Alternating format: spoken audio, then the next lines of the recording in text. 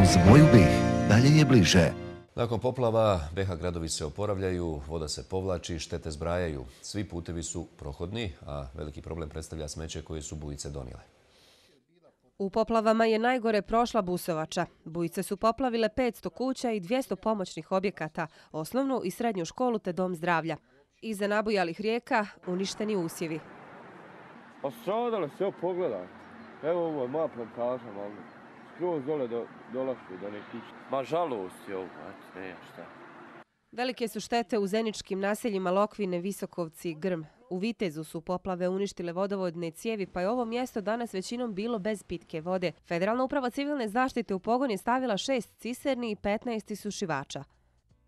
Na terenu su još uvijek e, pripadnici Federalne uprave civilne zaštite koji danonoćno s terenskim vozilima i pumpama za ispumpavanje vode pomažu stanovništvu u saniranju nastali šteta uzrokovanih poplavama, ali danas se vrši kao i juče i snabdjevanje e, stanovništva pitkom i tehničkom vodom u Busovači i u okolini Kiseljaka. Na sanaciji oštećenih puteva i manja radi se i u Kaknju. Općinska komisija za procjenu šteta građanima je dala rok od sedam dana da prijave nastale štete na imovini. Šteta imaju u Gračanici gdje je pod vodom 80 hektara poljoprivrednog zemljišta. Trenutno stanje je 340 cm, vodostaj spreči, znači 40 cm iznad redovne odbrane od poplava.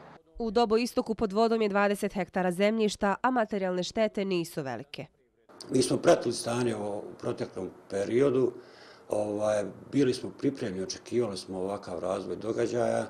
Republička uprava civilne zaštite RS-a upozorava stanovništvo u naseljima pored Drine i Save na maksimalnu budnost i pripravnost. Meteorološke prognoze kažu kako neće biti novih obilnih padavina u skorije vrijeme, pa se može očekivati normalizacija stanja.